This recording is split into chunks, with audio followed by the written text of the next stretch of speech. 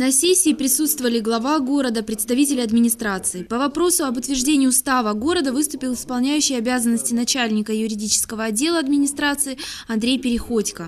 В соответствии со статьей 44 Федерального закона от 6 октября 2003 года номер 131 ФЗ об общих принципах организации местного самоуправления в Российской Федерации.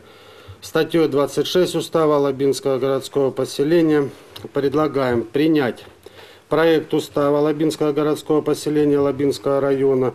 Проект уже как бы вам был роздан устава. Проект был подготовлен департаментом внутренней политики и как бы разослан по всем поселениям Краснодарского края. Мы должны над ним очень хорошо поработать, ознакомиться хорошо. И именно к вам у меня есть просьба э, дать свои предложения, чтобы публичные слушания, я вот обращался уже и ранее, и депутатам в основном, обращался к э, одному составу, который был на публичных слушаниях, подойти все-таки по-серьезному.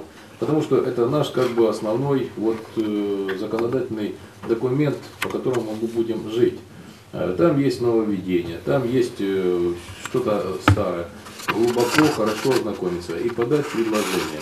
Проведение публичных слушаний по проекту устава было решено назначить на 10 апреля текущего года. Они состоятся в форме расширенного заседания с участием депутата Совета города, руководителей территориального общественного самоуправления, представителей администрации и общественности. Сегодня мы приняли решение вынести на публичное слушание устав Лабинского городского поселения. Устав – это очень важный документ, по которому живет Лабинское городское поселение. В связи с чем, почему вынесли? Потому что были приняты на федеральном уровне и на краевом уровне изменения в зак- в 131 закон о местном самоуправлении. Поэтому нам необходимо привести наш устав к федеральному и краевому уровню.